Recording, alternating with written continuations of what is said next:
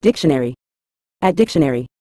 In a general sense, an integument refers to a protective covering or layer that encloses and surrounds an organism or structure, providing physical defense, support, and containment.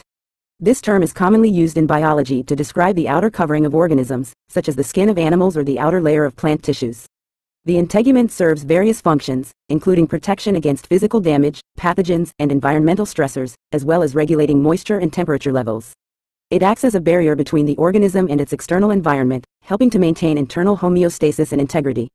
Integuments can vary greatly in composition and structure depending on the organism or structure they protect, but they generally serve as a crucial interface between the organism and its surroundings, facilitating interaction and adaptation.